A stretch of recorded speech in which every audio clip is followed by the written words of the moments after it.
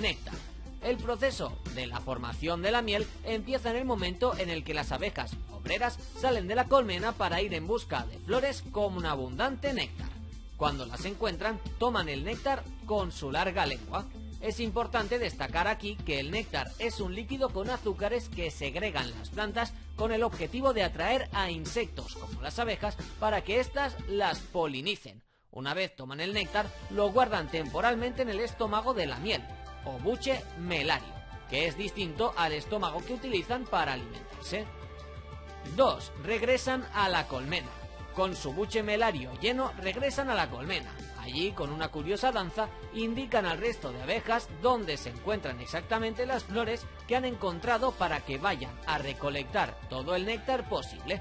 Entonces las abejas vacían sus buches de néctar y se lo ceden a otras abejas para que se encarguen de la maniobra de aireación.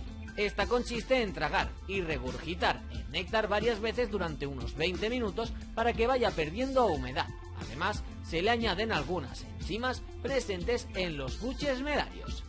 3. Almacenan el líquido en los panales. Cuando tienen la consistencia adecuada, líquido en los panales. Cuando tienen la consistencia adecuada, almacenan el líquido resultante en el panal de abejas.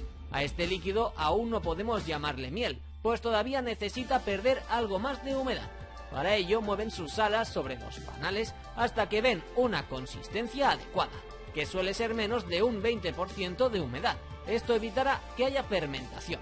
Y por último, cuando ya tienen la miel elaborada, la sellan con la misma cera con la que fabrican el panal en forma de una fina capa que se llama opérculo.